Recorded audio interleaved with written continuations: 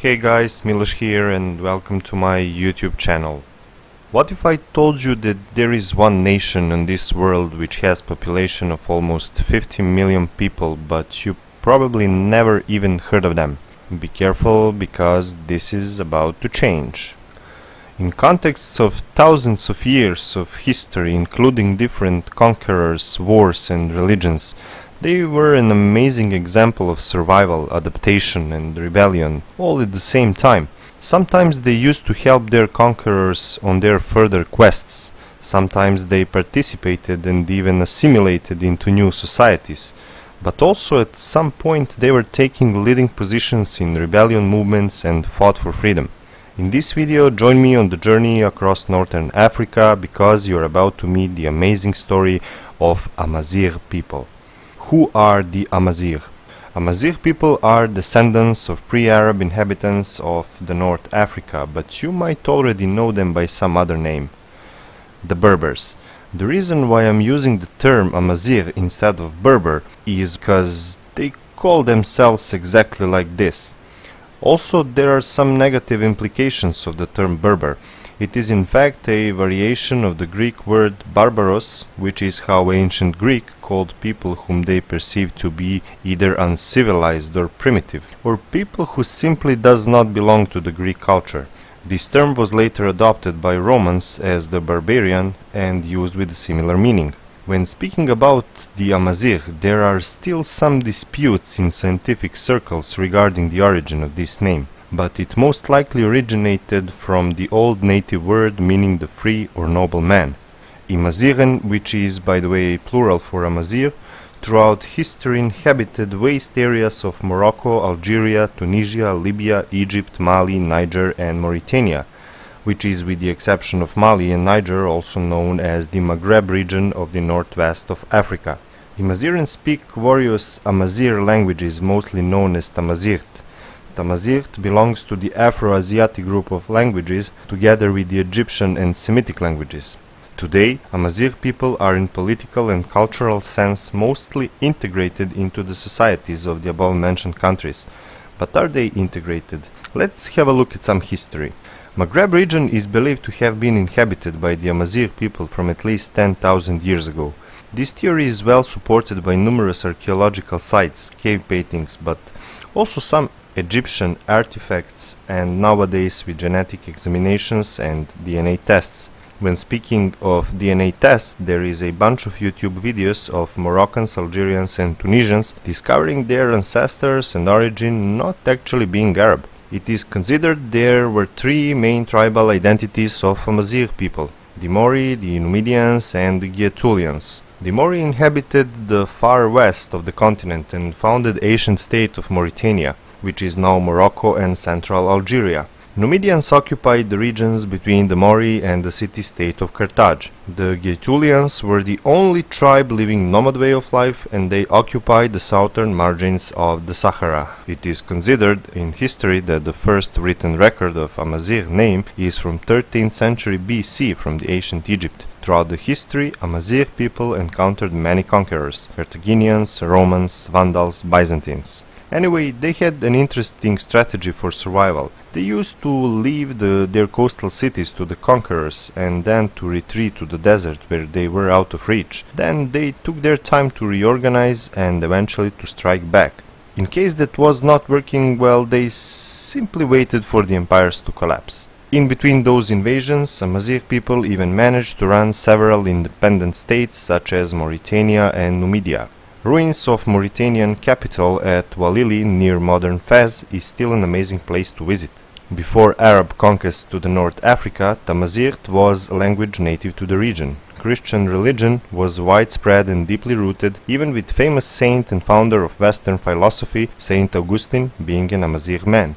Even though no previous conqueror tried to assimilate the Amazigh people, Arabs quickly converted them and ensured their support for further quests. Without help of Amazigh people, for example, Andalusia could have probably never been conquered by the Arabs. An Amazigh warrior, Tariq ibn Ziyad and his 12,000 warriors gave crucial contribution to taking of Visigoth capital Toledo. At first, only Amazigh people living near the coasts were involved in Arabization, but by the 11th century Islam began to spread far into Sahara despite rebellions of local people. One of those rebellions against the Arabs was led by famous Queen Kahina, and it wiped out an invading Arab army and delayed the conquest. Kahina is also famous for burning Amazigh lands in order to starve the Arabs and slow down the invasion, and then she fought to death, becoming a symbol of rebellion to these days. Another interesting example of Amazigh rebellion might be a man known as Ibn Tarif, who declared himself a prophet in 7044 AD. He translated the Quran in Tamazight language, which was by the way considered heresy back in that time, annihilated the Arab army and finally established his own kingdom of Barghawata in modern day Morocco. This Amazigh version of Islam was an extraordinary combination of Islam, Judaism and traditional Amazigh beliefs. After the initial rebellions and resistance, Amazigh people and Arabs found a common language, settling together in the cities and enjoying a common culture, literature and philosophy. This period in history is known as the period of rule of Almoravids and Almohads dynasties, which happened from 11th to 13th century AD. After the final breakdown of the Amazigh Islamic empires in the 15th century, Achieved unification slowly faded away and some localized kingdoms replaced the empires. The 16th century introduced the Ottomans to the stage, who have been ruling the region for about 400 years, since capturing Cairo in 1514. In both the Ottoman Empire and still independent Moroccan Sultanate, the Amazigh people were slowly pushed to the margins of society. Process of Islamization and Arabization inevitably led to losing of identity for Amazigh people who are today mostly assimilated into societies of North African countries. But on the other hand, for example, in Morocco and Algeria, nearly one third of total population even today speaks some form of Tamazight, but before jumping to the modern era, let's finish this history lesson with the French influence on the region. It all started on June 1830 with a French army landing on shores of the Ottoman Algeria. This marked the beginning of an end to a almost 1000 years long Islamic rule in the region. Most of Algeria fell to the French rule very quickly, in a matter of months, but there was one region which took French more than 30 years to conquer. This region was known as Kabylia. Kabylia was a mountainous homeland of the Kabylie Amazigh people and it is still a region in Algeria which is actually home for about 7.5 million people. When speaking about French policy in the region, it can be described as divide and policy rule implemented on the local Arab and Amazighian population, with which French tried to make Amazigh people some sort of colonial partner, even claiming them to be more European than the Arabs. Kabylie, however, rejected the idea and even took significant role in the Algerian independence movement. Ironically, after the liberation from French, Algeria and Morocco established their countries based on the Arabic identity only and with the official language being only Arabic. Once again, Amazigh people had to learn Arabic language in their schools while pushing their own language and culture out from the public view. But what is the present situation with these people? As a sign of improvement of the position of Amazigh people, the World Amazigh Congress or WAC was founded in 1995. WAC is an umbrella organization that represents the Amazigh people and defend their rights in different countries. WAC also reviews the state and position of the Amazigh people by issuing regular reports from their meetings. One example of such report is the following conclusion regarding the position of the Amazigh minority in Libya. Quote, Gaddafi regime continues to follow its apartheid politics towards Amazighen, depriving them of their language and culture and threatening them with death when they claim their Amazigh identity. End quote. Concerning Amazigh rights in Morocco, WAC stated, quote, Members of WAC condemned the imprisonment of young members of the Amazigh cultural movement who were subjected to a highly unfair trial. It is time for Morocco to abandon its repressive measures of the Black Years and to free political prisoners. End quote. WAC also denounced the serious violations of fundamental liberties and the abrogations of rights in Algeria and politics of denial of Amazigh identity and forced assimilation in Tunisia. But, on the other hand, there are also some improvements in, uh, for example, in 1997 the flag of Amazigh people has been officially adopted by the WAC. The flag of Amazigh people consists of blue, green and yellow stripes and the red letter Yaz in the middle, meaning the free man, which is if you remember the name of the Amazigh. Blue color on the flag represents the Atlantic Ocean and Mediterranean Sea, while the green represents mountains and the yellow represents the desert. Besides the flag, some other things also started to change in a positive way. In 2011, Morocco recognized Tamazight as an official language and Algeria did that too in 2016. Also, both countries started teaching Tamazight in public schools. One step forward was also the declaration of Amazigh New Year as national holiday in Algeria during 2018, as well as publication of the official government documents in both the Arabic and Tamazight language. In some other countries such as Libya, Tunisia or Egypt, the Amazigh people are still struggling to defend their national and cultural rights. It is important to know that these developments in Morocco and Algeria did not came without price. Years of fighting for freedom start back with the colonization of North African countries during 60s and 70s. From the beginning, Amazigh people protested, claiming new governments are eradicating their cultural and linguistic traditions. In 1980, Algerian authorities prevented novelist Mouloud Mammeri from lecturing about Amazigh language and heritage at University of Tizi Ouzou in Kabylie region. This event led to protests in which dozens were injured by security forces. Every year on April the 20th, Amazigh in Algeria take to the street to mark the Amazigh Spring and to demand self-determination for their community. This also repeated in 2001 when one student was killed in police custody. This resulted in huge riots that left more than 120 people dead. This event is known as Amazigh Black Spring. Morocco, for instance, prohibited parents from giving their children Amazigh names until 2014.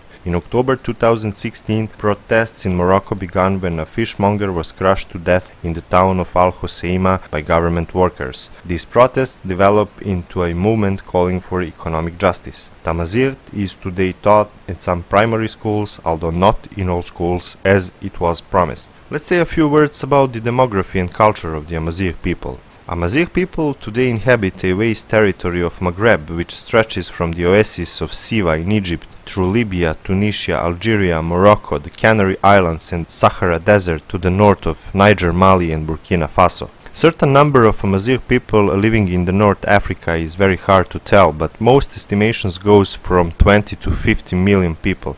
Despite the Arab rule, Amazigh people kept their own identity and vibrant culture. Actually, there are different ethnic groups identifying themselves as Amazigh, such as Shila in Morocco, Shaoui, Kabylese and Mozabites in Algeria, Jerba and Matmata in Tunisia, or Tuareg living in vast areas of Algeria, Libya, Niger, Mali and Burkina Faso. Tuareg is also known as the Blue People for the color of their traditional clothes. When speaking about society, women in a Amazigh society enjoys more freedom compared to Arab one. Women's allowed to own property, choose husband, divorce, don't have to wear the veil, and even can run the administration of the tribe. Also, they are well known for tattooing their hands and faces with unique traditional shapes. These shapes can also be found on Amazigh traditional carpets. Amazigh society is also quite democratic. All families and tribes enjoy equal rights and follows the codes of honor and the council of elders, which is in their language called Jama'ah which is in charge of politics, social problems, economy, as well as the crime and punishment. Amazigh use an ancient script known as Tifinagh. As already mentioned, this writing system was suppressed by North African governments, but there are some improvements in recent years, such as books, official documents, and even traffic signs written with Tifinagh letters.